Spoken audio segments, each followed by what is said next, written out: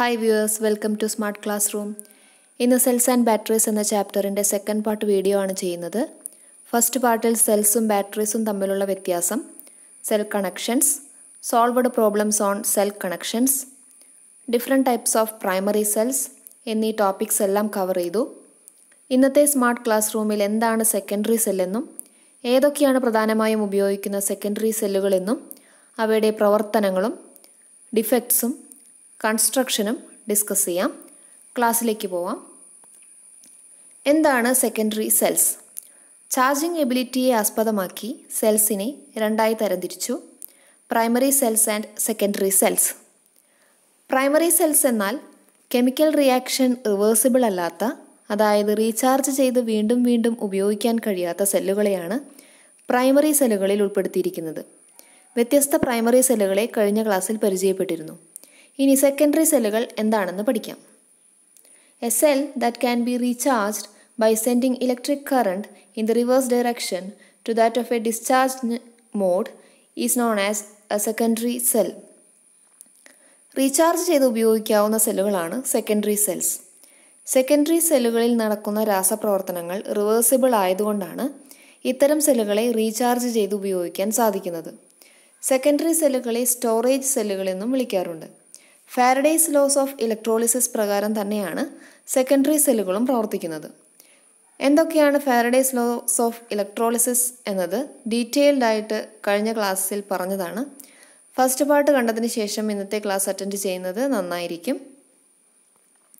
പ്രധാനമായും ഉപയോഗിക്കുന്ന സെക്കൻഡറി സെല്ലുകളാണ് താഴെ പറയുന്നത്. Lead acid cell and alkaline cell or nickel iron cell. ഇന്നത്തെ ക്ലാസ്സിൽ ലെഡ് ആസിഡ് സെല്ലുകളുടെ സവിശേഷതകളും പ്രവർത്തനവും ഘടനയും പഠിക്കാം. ലെഡ് ആസിഡ് സെല്ലുകളുടെ പ്രവർത്തനത്തെപ്പറ്റി പഠിക്കുന്നതിന് മുൻപ് ഇവയുടെ കൺസ്ട്രക്ഷനെ പറ്റി പഠിക്കാം. Main parts of a lead acid ബാറ്ററിയാണ് താഴെ കൊടുത്തിരിക്കുന്നത്. Container plates separators post terminals and electrolyte ചിത്രത്തിൽ ലെഡ് ആസിഡ് ബാറ്ററിയുടെ കൺസ്ട്രക്ഷനാണ് കാണിച്ചിരിക്കുന്നത്. അതിൽ പോസ്റ്റ് ടെർമിനൽ പോസിറ്റീവ് സെൽ പ്ലേറ്റുകൾ നെഗറ്റീവ് ഇലക്ട്രോഡുകൾ സെപ്പറേറ്റേഴ്സ് പാർട്ടീഷ്യൻ തുടങ്ങിയവ കാണിച്ചിരിക്കുന്നു. ആദ്യം containers the container is made of hard rubber or glass or celluloid to accommodate the active plates separators and the electrolyte സെല്ലിന്റെ പ്രധാനപ്പെട്ട ഭാഗങ്ങളായ ഇലക്ട്രോഡുകൾ ഇലക്ട്രോലൈറ്റ് അടങ്ങിയിരിക്കുന്ന ഹാർഡ് റബ്ബർ അഥവാ സെല്ലുലോയിഡ് അല്ലെങ്കിൽ ഗ്ലാസ് കൊണ്ട് നിർമ്മിച്ചിരിക്കുന്ന ഔട്ടർ കവറിങ്ങിനെ കണ്ടെയ്നർ എന്ന് വിളിക്കുന്നു. കണ്ടെയ്നറിന്റെ താഴെത്തട്ടിലുള്ള റിബ്സ് എന്ന ഭാഗത്തിനു മുകളിലായി പ്ലേറ്റുകൾ അഥവാ ഇലക്ട്രോഡുകൾ സ്ഥിതി ചെയ്യുന്നു. റിബുകൾ തമ്മിലുള്ള അകലത്തെ സെഡിമെന്റ് ചാമ്പർ എന്ന് വിളിക്കുന്നു. പ്ലേറ്റ്സ് പോസിറ്റീവ് പ്ലേറ്റായി ലെഡ് പെറോക്സൈഡും നെഗറ്റീവ് പ്ലേറ്റായി സ്പോഞ്ചി ലെഡുമാണ് ഉപയോഗിക്കുന്നത്. പോസിറ്റീവ് പ്ലേറ്റുകൾ രണ്ട് തരത്തിലുണ്ട്. Plant plates or formed plates Faure plates.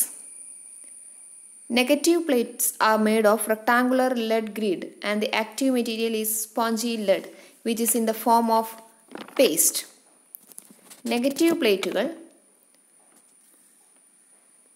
Active material spongy ലെഡാണ് നെഗറ്റീവ് പ്ലേറ്റുകൾ റെക്റ്റാങ്കുലർ ലെഡ് ഗ്രിഡ് കൊണ്ട് ഉണ്ടാക്കിയവയായിരിക്കും. പേസ്റ്റ് രൂപത്തിലുള്ള സ്പോഞ്ചി ലെഡ് ആയിരിക്കും നെഗറ്റീവ് പ്ലേറ്റിൽ ഉണ്ടായിരിക്കുക. പോസിറ്റീവ് പ്ലേറ്റ് രണ്ട് തരമുണ്ടെന്ന് പറഞ്ഞു. Plant plate and Faure plate തുടർച്ചയായ ചാർജിങ്ങും ഡിസ്ചാർജിങ്ങും വഴി പ്രിപ്പയർ ചെയ്യുന്ന പ്ലേറ്റുകളെ പ്ലാന്റ് പ്ലേറ്റ്സ് എന്ന് വിളിക്കുന്നു. ആദ്യം പ്യുവർ ലെഡും ചാർജിങ്ങിന് ശേഷം ലെഡ് പെറോക്സൈഡുമായി മാറുകയാണ് ചെയ്യുന്നത്. ഫോർ എ പ്ലേറ്റ്സ് എന്നാൽ ഫോർ എന്നാൽ പേസ്റ്റ് എന്നാണ് അർത്ഥം. ഫോർ എ പ്ലേറ്റുകളിൽ പേസ്റ്റ് രൂപത്തിലായിരിക്കും ലെഡ് പെറോക്സൈഡ് ഉണ്ടായിരിക്കുക. ഒരു റെക്ടാങ്കുലർ ലെഡ് ഗ്രിഡിന്റെ രൂപത്തിലായിരിക്കും ഫോർ എ പ്ലേറ്റ്സ് കാണി കാണപ്പെടുന്നത്.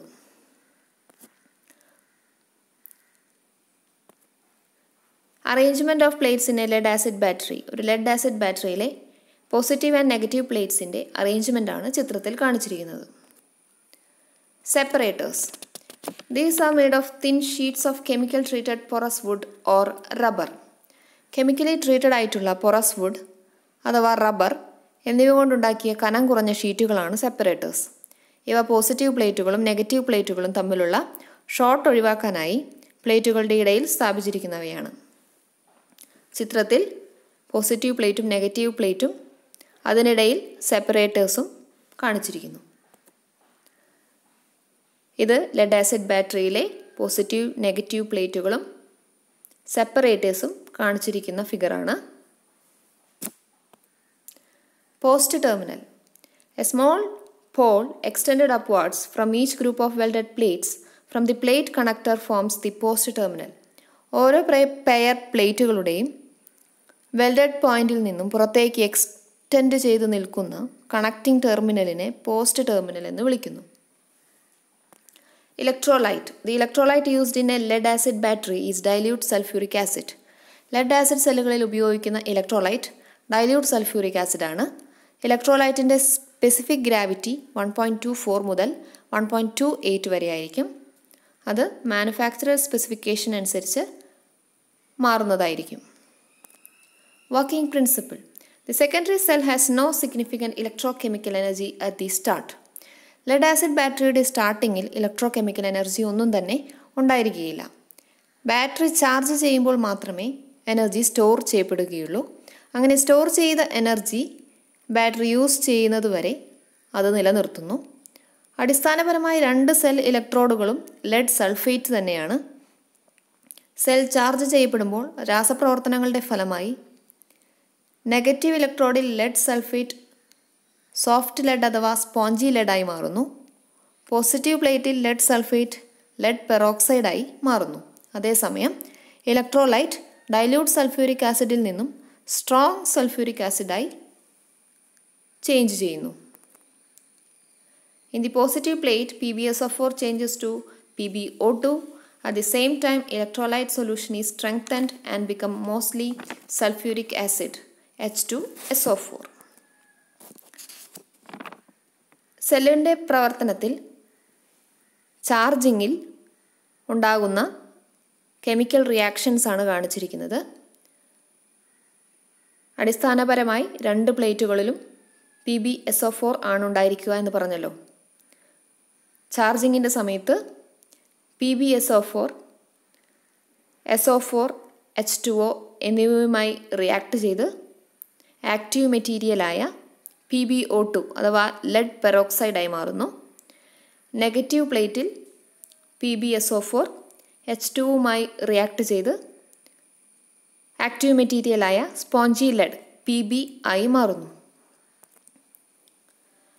ഇത് ലെഡ് ആസിഡ് ബാറ്ററിയുടെ ഡിസ്ചാർജിങ് കണ്ടീഷനാണ് ഡിസ്ചാർജിങ് കണ്ടീഷനിൽ നേരത്തെ ചാർജിങ്ങിൽ പറഞ്ഞ കെമിക്കൽ റിയാക്ഷൻസ് റിവേഴ്സ് ചെയ്ത് സംഭവിക്കുകയാണ് ഉണ്ടാകുന്നത് പോസിറ്റീവ് പ്ലേറ്റിൽ ലെഡ് പെറോക്സൈഡ് സൾഫ്യൂരിക് ആസിഡുമായി റിയാക്ട് ചെയ്ത് വീണ്ടും ലെഡ് സൾഫേറ്റായി മാറുന്നു.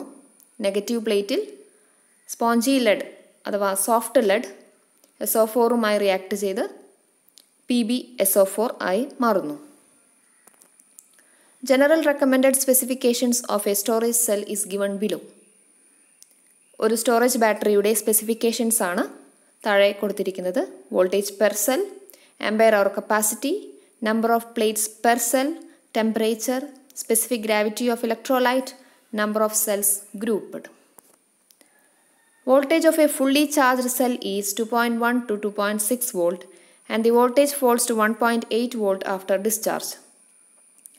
ഇത് പ്രധാനപ്പെട്ട ഒരു പോയിന്റാണ് ഫുള്ളി ചാർജ്ഡ് ലെഡ് ആസിഡ് ബാറ്ററിയുടെ വോൾട്ടേജ് രണ്ട് പോയിന്റ് ഒന്ന് മുതൽ രണ്ട് പോയിന്റ് ആറ് വോൾട്ട് വരെയും.